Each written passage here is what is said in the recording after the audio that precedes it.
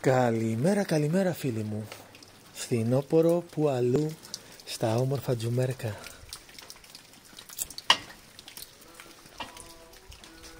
Και πιο συγκεκριμένα στο όμορφο χωριό της Ράμιας. Κεντρική πλατεία και ιερός ναός Αγίας Παρασκευής. Κυριακή 3 Δεκεμβρίου. Μια καθαρά φθινοπορεινή πρέπουσα ημέρα.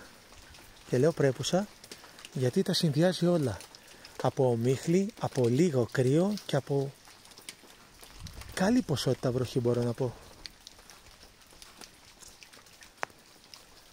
Στην ταβέρνα του Λοχεία φίλοι μου.